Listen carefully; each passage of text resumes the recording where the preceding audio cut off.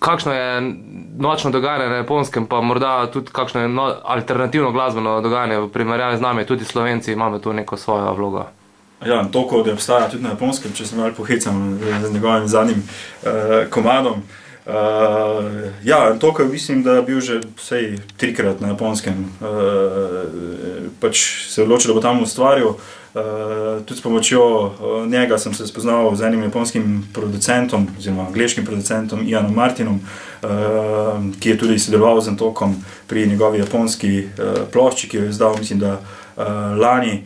Uh, in seveda smo šli pogledat, uh, recimo, cvet japonske alternative. Uh, mislim, da se predel imenuje Koenji, uh, malce kakšne pol ure iz središča uh, Tokija za nas, evropejce, pa tudi slovence, ki smo vabljeni med telkove, pa raznih uh, skvotov, uh, alternativnih pribežališč, na zadnje tudi uh, študentskih klubov, uh, praktično v vsaki vasi uh, obstaja kakšna luknja v narekovajih, kjer je scena, ne, je v večmilijonskem Tokiju, ker malce mogoče razočaranje. Ni neke, neke prave cene. No, jaz sem jo tako uh, doživel. Večina uh, koncertov uh, se dogaja v recimo kar temo gostilnah oziroma prostorih, kjer so čez dan, je možno dobiti hrano, uh, gre za pač tako, mogoče malce bolj alternativne ali pa ne fancy restauracije. So pa tudi nekateri klubi, kjer uh, vendarle uh, so, so seveda koncerti.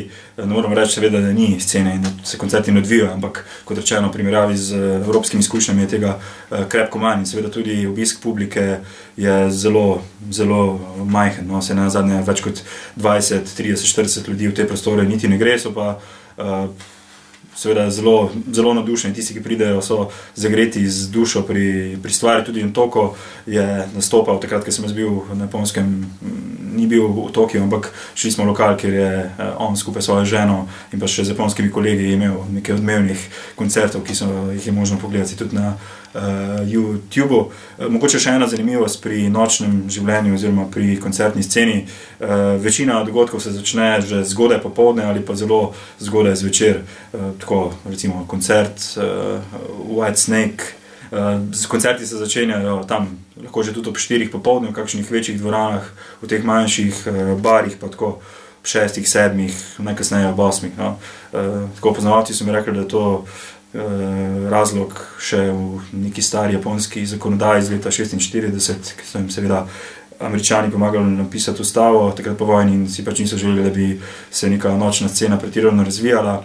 In mislim, da po 22 uri je menda brez posebne licence ni dovoljeno plesanje v lokalih. No, in nekako se v praksi je menda to seveda ni težava, ampak Japonci se seveda zelo uh, držijo uh, pravil in očitno se tudi nekako se jim je to uh, prijelo in zato skušajo nekako izvesti uh, vse te koncerte uh, že zelo zgodaj, kar je sicer malce nenavadno, glede na njihov uh, delovni čas, težko se neke množice udeležijo, ampak seveda. Japonska mesta so tako velika, da se vedno nabere, no, 40 ljudi v manjših barih, se ni težko zbrati, na večjih koncertih pa Eh, tudi je seveda kritična masa dovolj velika. Um. Zdaj, če sem prav seznanjen, se pa dosta množično alternativne stvari, pa tudi drugače za nesproščene Japonce eh, v parkih, recimo, lahko srečeš posebno drugačne Japonce. Ja, ja, parki so zagotovo vse zame, so bili en večjih uh, fenomenov. No. Predvsem v Tokiu, no, Jogi park je največji in tudi najbolj znamenit park. Uh, nedelja popovdne je, oh, kar ne moreš verjeti, kot pri nas uh, skoraj maškarada. No. Predvsem uh, mlajši uh, in mlajše Japonke uh, se takrat uh, znebijo vseh sporov, očitno no, oblečejo se za res uh, tako. Sproščeno, lahko rečemo, tudi mogoče malce otroče, ekscentrično, in potem preživijo popoldneve v parkih, plešajo na javnih mestih, se snemajo, se družijo, poslušajo glasbo. In v parkih je res, res zanimiva, zanimiva scena. Um, Nekaj smo šli navezati na. V bistvu njihov občutek za improvizacijo. Okay, tu, kako pa se Japonci soočajo s temi stvarmi, uh, ki so pač prizadele njih in širše območje, kot je Fukushima, kjer se je izkazalo, da so pač oblasti jim uh, lagale? Ja, to je verjetno tudi posledica uh, organizacije njihove družbe oziroma uh, seveda zgodovinsko, ne samo po drugi svetovni vojni, pač kako, kako, kako deluje Japonska kot družba, zelo hierarhično, popolno organizirano, držijo drug za drugega. In zagotovo se je to tudi pokazalo pri zadnji tragediji, ki je zamenilo eno leto v Fukushimi. Praktično, ko se pogovarjaš z ljudmi, v Evropi je bila velika panika. No. Tudi sam sem odhajal na Japonsko nekaj mesecev po uh, nesreči na informacije v Evropi o tem, kakšno je sevanje, kakšna je realna nevarnost, so si bile zelo nasprotujoče. V pogovoru z Japonci pa praktično. Ja, vidiš, vidiš, da so zaskrbljeni, ampak nekako si kar presenečen, kako verjamejo in zaupajo oblastnikom, upravljavcem, Eh, elektrarn, oziroma tistim, ki zdaj rešujejo nastalo uh, situacijo. Uh, pravijo, da pač to se je zgodilo, jasno je, da potrebujejo veliko energije, priznavajo tudi, da so energetsko potratni in da pač za nje druge opcije, kot je jedrska energija, vse do sedaj ni bilo. In pač to se je zgodilo, imajo strokovnjake, ki se spoznajo na jedrsko energijo, poskušajo za to odpraviti.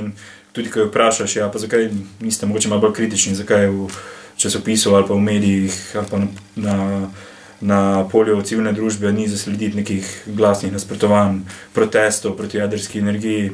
In pač uh, pravijo, da oni se to pač nima smisla vtikati, oni sami kot ljudstvo uh, nastale situacije pač ne morejo zdaj razrešiti in da pač pustijo strokovnjakom, uh, da bodo to uh, naredili. Ne? Zdaj pa seveda v neformalnih pogovorih tudi s poznavalci uh, fizike pa seveda spoznaš oziroma slišiš, uh, da je zadeva seveda zelo Uh, lahko tudi uh, drugačna. Ne? Seveda so tudi kot posod pri energetskih poslih v zadju uh, uh, lobiji, največja japonska podjetja, uh, seveda so tudi v poslih z jedrskimi turbinami, seveda imajo že načrte za obnovo jedrskih elektrarn, tudi z američani so v velikih uh, poslih na podlagi jedrske energije in seveda je vprašanje, kakšni so interesi. Je pa treba povedati, ne, da vendarle uh, ta nesreča jih je. Sej, začasno zelo streznega, mislim, da zdaj delujete samo še dva reaktorja od več kot 50 japonskih jedrskih elektrarn eh, in vsej eh,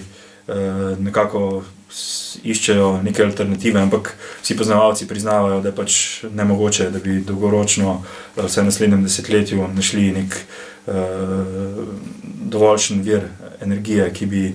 Ki bi nadomestila uh, jedrsko uh, energijo. Mogoče še to zanimivo pri civilni družbi, in kar tudi govori o japonski družbi. No, sam sem prišel ravno par dni pred uh, eh, 15. oktobrom, ko so bile pač po vsem svetu antiglobalistične demonstracije.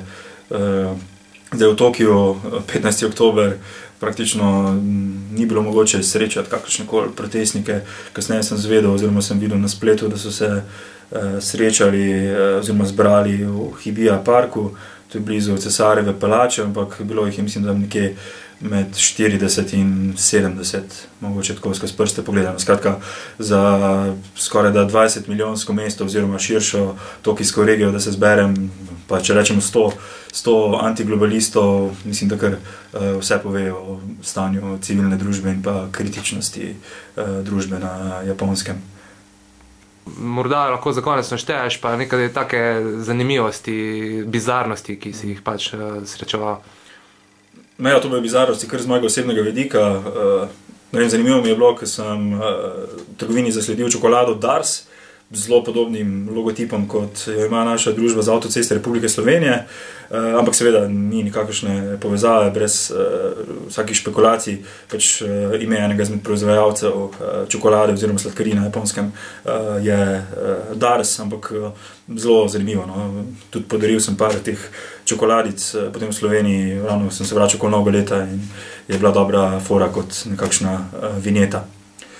Druga zanimivost, s katero sem se kar dosto obadal, je njihov fenomen eh, pakiranja. Uh, zapakirajo res uh, vsako stvar, ki jo kupiš v trgovini, vsaj dvakrat, trikrat, tudi če greš vem, po vodo, pa po vem, en sendvič, ki ga seveda potem zapakirajo, dajo še posebej v rečko. Da ne govorimo o zelenjavi in pa slaščicah, ali pa recimo o mlečnih izdelkih, To je zanimivo. No? Uh, kupiš jogurt, recimo v supermarketu, mogoče malce boljše, ne v tem uh, minimarketu, in seveda ti tam odred uh, uslužbencev um, vsako sebino, vsak, vsak izdelek posebej zapakira.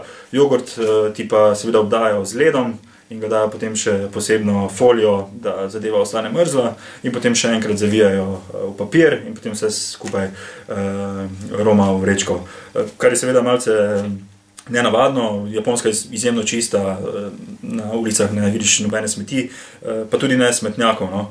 Skratka, ljudje so toliko zaveščeni, da nosijo zadeve doma, domov in jih potem doma reciklirajo na 6 do 8 uh, eh, različnih smeti. Je pa seveda vprašanje, tu spet en dilema. Ne kljub temu, da so ekološko osveščeni, se trudijo biti uh, zelo zeleni, uh, je pa ne navadno, ne, da tako na veliko pakirajo. Pri nas smo se znebili uh, plastičnih vrečk, uh, tam nimam tega občutka, da, da, da razmišljajo v tej smeri. Skratka, pa če en poprečen kupec petih izdelkov domov prinese, zagotovo še za eno vrečko uh, odpadkov oziroma uh, embalaže. Še kakšna druga zanimivost? Uh, Ne vem, mislim, to so take res uh, čisto osebne.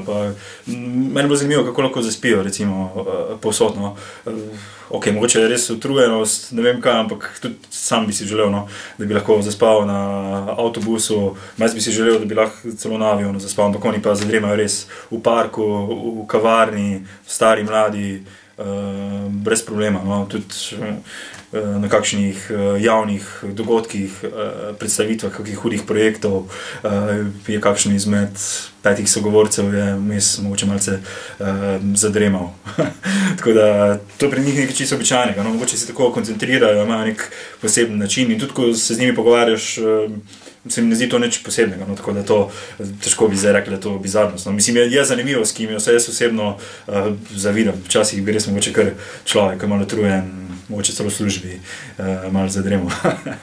um, mi bi verjetno kot zanimivost uh, tudi njihovo pač, um, igro, ki jo zdaj množično igrajo. Aha, pačinko. Ja, ja, to je pa največji japonski biznis, ki sem prebral, da uh, imajo upravljavci te nenavadne igre, ki je neke vrste, lahko bi ga imenovali tudi malce predelan flipper, no, gre pač za metanje nekih žogic in žetonov uh, in zbiranje točk, niti ne vem točno, no, uh, na spletu je en kup eh, posnetkov. Uh, skratka, ja, ta pačinko biznis menda prinaša več zaslužk, zaslužka kot avtomobilska industrija, uh, menda uh, biznis obvladajo Korejci. Uh, so pa seveda mladi in stari, ženske in moški, uh, Eh, praktično teh pačinko, slotih, uh, po 24 ur na dan, sliši se samo udarjanje teh žogic, zraven kadijo, uh, vsi so nervozni. Uh, koncept igre nisem ga šel sam preizkusiti, no, nisem pač navdušen nad to vrstnimi uh, igrami na srečo. Uh, je pa zanimivo, no, da pač, ko pregraš neko določeno število točk oziroma žetonov, uh, dobiš za to darilo. Ne.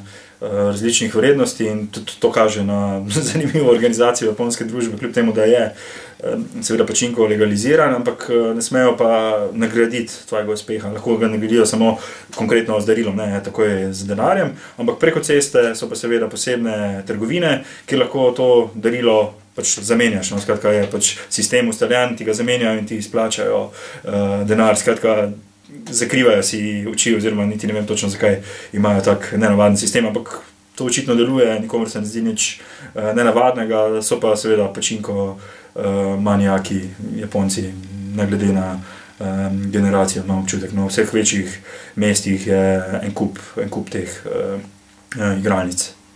Bi se še vrnil na Japonsko? No, bi se, seveda, ja. mislim. Nisem pripričan, če bi tam živel, pa delal mislim, v njihovem sistemu, mogoče tudi, no, ampak uh, kot uh, turist ali pa samostojni uh, modrec, uh, bi se zagotovo še uh, kdaj vrnil. No. Je pa res, da sem imel srečo, da sem bil praktično dva meseca no, in tudi ta štipendija je bila res zelo dobro koncipirana. No. Um, tako da sem res lahko naredil neko.